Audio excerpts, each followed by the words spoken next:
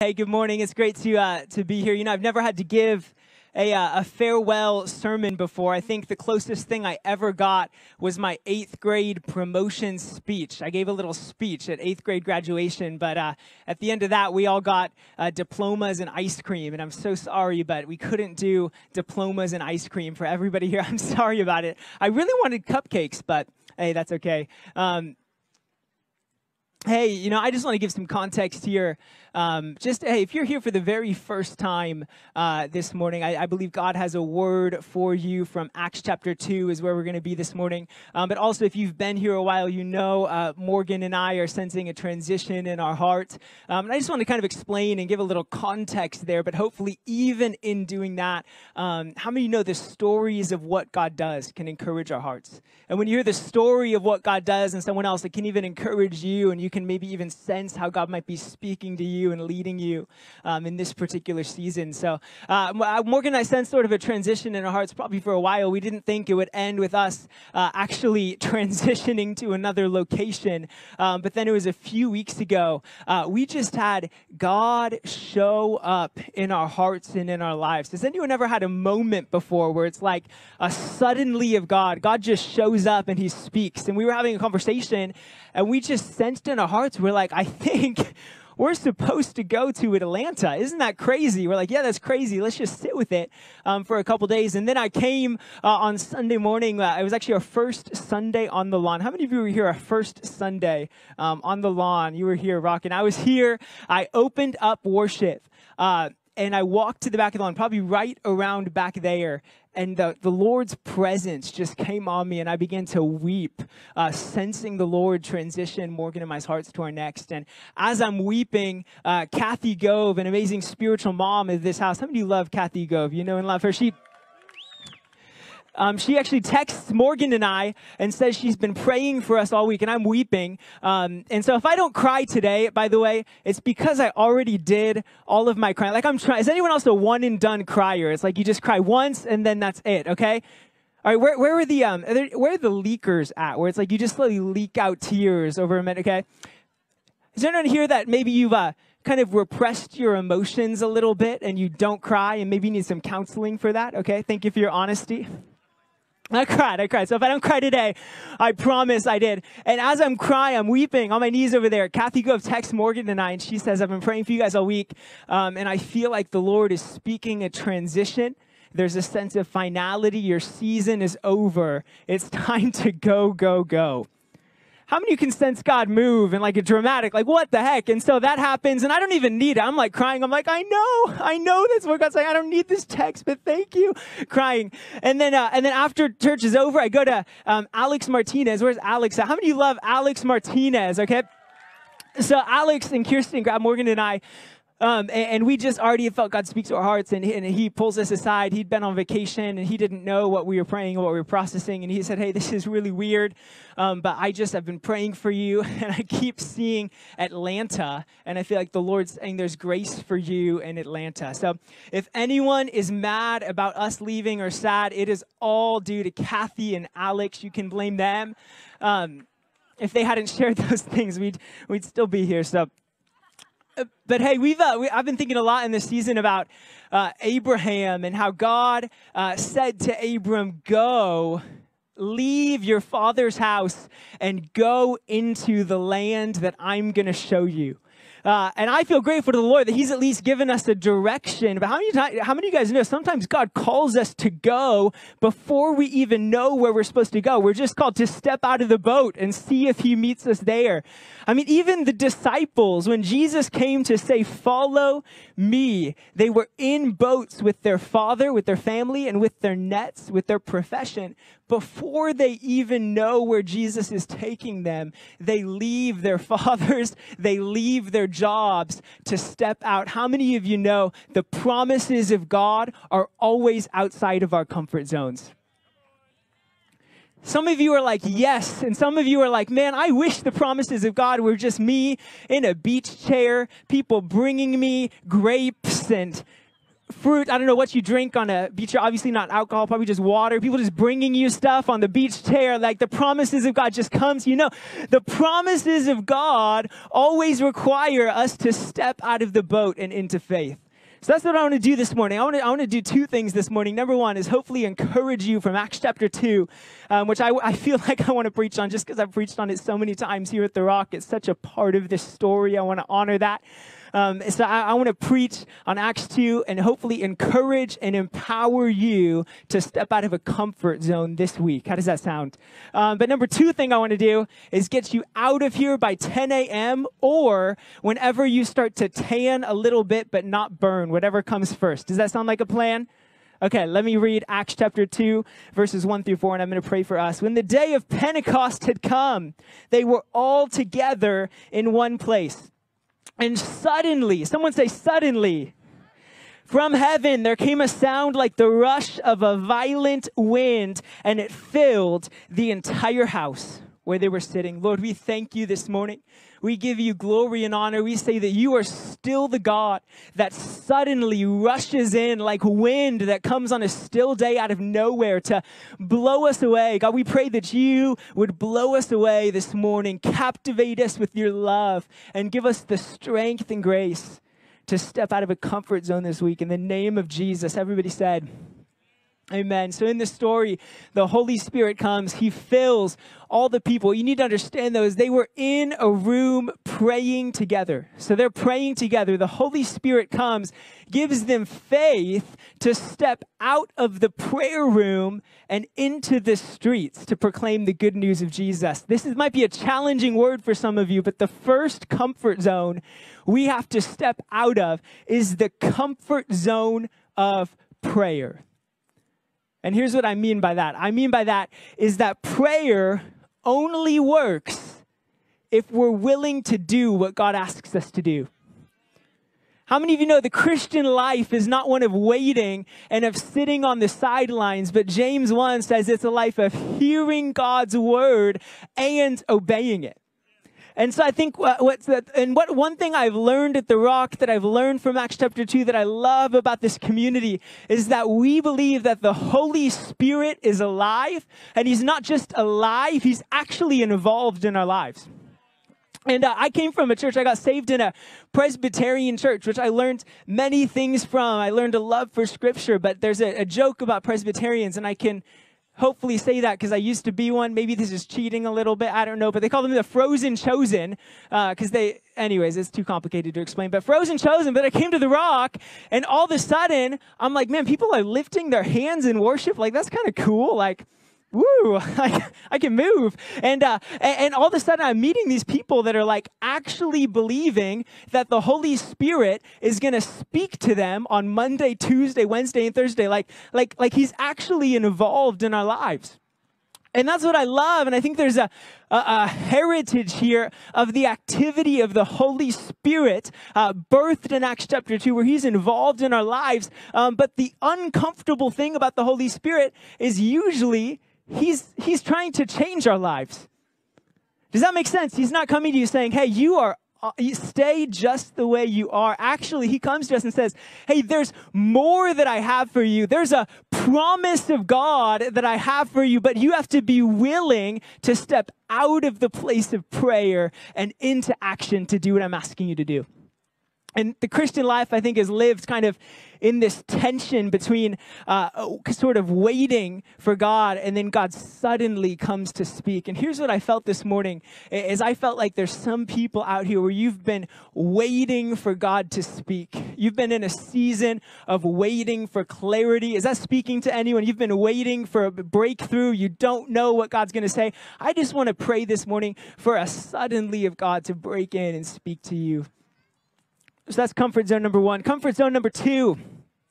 Uh, the Holy Spirit's poured out. It says all of them were filled with the Holy Spirit and began to speak in other languages. Someone say languages.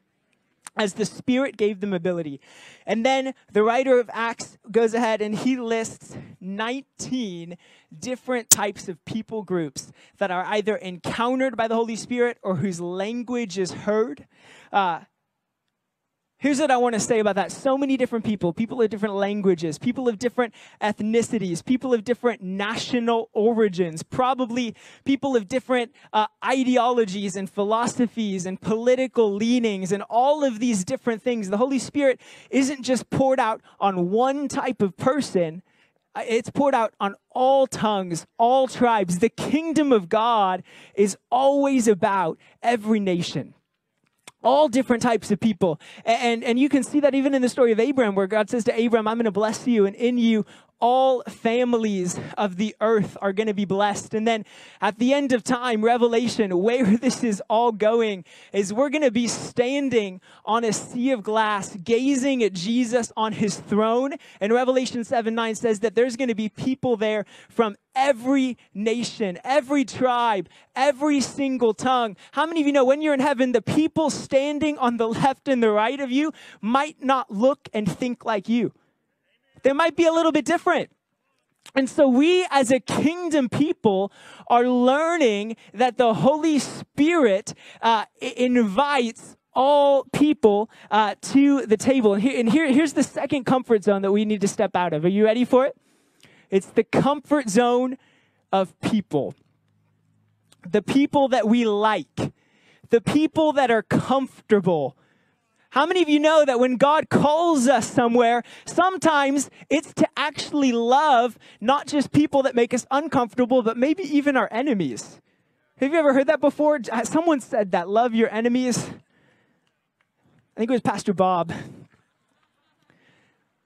And so we need to step out. And here's one thing I learned at the because that's kind of a macro level is the Holy Spirit washes away every line of, of nationality and political leaning and, and color and race and ethnicity. And if you say yes to Jesus, everyone gets a seat at the table. And we're called to be a kingdom people. That's kind of a macro level, but a micro level that have space at our table for people who may think differently than us. We're called to be a people of open hearts and, and open arms that, like Jesus, say, Come as you are. Maybe not stay as you are. Maybe once you get to the table, we're going to work on some stuff. But we need to be willing to have people at our table that don't act, look, and think like us. And that's one thing. I think I learned, and again, I want to honor the rock, honor this church and what it is. One thing I've learned here is that the table is just as important as the temple. And here's what I mean by that temple is this place where we're all gathered and it's awesome. And you have your friends sitting next to you. How many of you have a friend sitting next to you? Okay. How many of you have an enemy sitting next to you? So we're all here, we're gathered, and it's awesome. But one thing I learned at the Rock is after I got encountered at an amazing camp in 2010, uh, I got invited into Pastor Brandon's living room with a bunch of smelly, sweaty teenagers, okay? And, uh, there's some teenagers here today, and I just want to honor you guys. You guys are no longer smelly or sweaty. You have Instagram to teach you how to dress. All we had was our mirrors. We were awful at everything, and so we're gross and we're crammed in a living room and we're eating food. But but here's here's how I describe that season of my life: is I met Jesus at the temple, but I learned how to follow him at a table. And there's a call of God on the Rock of Roseville to be a place of open tables, even of families. I would say families, your first job is to disciple your kids who are at your table. But there's also a second job you have if there's uh, spiritual orphans in the family of God that need a seat at a table to learn how to follow Jesus in that context. Are you willing to step out of the comfort zone of people who are safe and comfortable for you? And then the third comfort zone, Acts chapter 2, verse 17 says this In the last days, uh, it will be, God declares, that I will pour out my spirit on all flesh, and your sons and your daughters shall prophesy. How many of you are a son? Any sons out there? Any, any daughters? Okay, then it says, Your young men shall see visions. Any young men out there? Uh, and your old men shall dream dreams. Any old men out there? Okay, thank you for your honesty there. Everybody gets uh, a, uh, so so Peter stands up and says, "Hey, what's going on right now? The Holy Spirit being poured out." Joel the prophet actually talked about this. He said that it would happen. And he said that when it would happen, and it's happening right now, the Holy Spirit is not getting poured out on just one particular type of person. He's getting poured out on all different types of people the young men, the old men, all people. And this is a significant moment in the story of God where the mission of God changes from just being to the Jewish people in Israel to all the nations of the earth. And what we see is this moment catapults those early disciples to go from Jerusalem to Judea, Samaria, and to the ends of the earth. The third comfort zone that we need to learn to step out of is the comfort zone of place. The comfort zone of place. And sometimes Jesus calls us to step out of the comfortable place of our house and actually talk to the people that live in the door next to us. Uh, sometimes Jesus calls us out of the comfort zone of our office cubicle and into the cubicle of the person next to us with gloves and masks on, of course, to love in a different way. Uh, but Jesus calls us out of the comfort zone of place. And, and here's what I want to say about that. So, Ronald Rolheiser, an amazing author that I love, says this He says, The Holy Spirit is not a general spirit. He's a particular spirit given to particular people for a particular purpose. And so here's what I want to say. If you have said yes to Jesus, you actually have a deposit of God Himself inside of you, but not just this general vanilla deposit of God. You actually have a specific deposit from God that the world needs, but the only way the world's going to get it is if we're able to step out of our comfort zone of place. It's kind of like the best illustration I can think of is has anyone ever had store bought bread before and eaten it? You like store bought bread? Uh, versus like homemade hands kneaded bakery bread. Does anyone know what I'm talking about? I think I've shared this as an illustration before. I just love bread. Anyone else love bread? So, homemade bread. Uh, Morgan and I have thrown away so many loaves of store bought bread. Why? Because it's cookie cutter and kind of gross and it's cheap, so it's nice. I have never thrown away a loaf of bakery hand kneaded bread. I will cut off the mold and eat it and get sick if I need to. It's so good. Because here's what I want to say you are a handmade loaf, not a store bought loaf. Okay, you aren't just put in a manufacturing plant and then shipped as a carbon copy. God actually made you with his hands in a unique way, uh, and God put a unique deposit of his spirit into you that the world needs. Will you step out of your comfort zone? And one thing I've learned at The Rock ever since I was 16 and went on a missions trip to Nicaragua with Pastor Bob and was like, man, this guy talks about missions a lot. And then uh, learned a heart for the nations. And how many of you have been on a mission trip with Pastor Bob? You've been on a missions trip with Pastor Bob. I think um, I love The Rock's heart for missions. If there's anything I've learned here is that God is still sending out everyday missionaries to our neighborhoods and to the nations of the earth. Will you step out of a comfort zone this morning. All right, friends, can I pray for you, church? And then I know you're going to pray for me. So uh, let's do this. If you'll, uh, if I'm going to pray for you, and then you can pray for me. Does that sound good? Unless you don't want to, that's fine too. I mean, we're totally fine. Morgan and I are chill. Okay, I'm going to pray for you. Why don't you close your eyes? Thank you, Lord, for your grace, for your presence. If you can, I just want to take a moment to respond to the Holy Spirit. If you want to put your hands out like you're going to receive a gift or put your hands on your heart, I want to pray. I kind of felt a couple specific things that I want to pray for this morning. Uh, number one is this if you've been in a season of waiting and you need a suddenly of God to break in and speak to you this morning, just with eyes closed, if you've been waiting on an answer from God, I just want to pray for you. Only God can do it, uh, but I want to pray. If you just eyes closed, you just slip your hand up?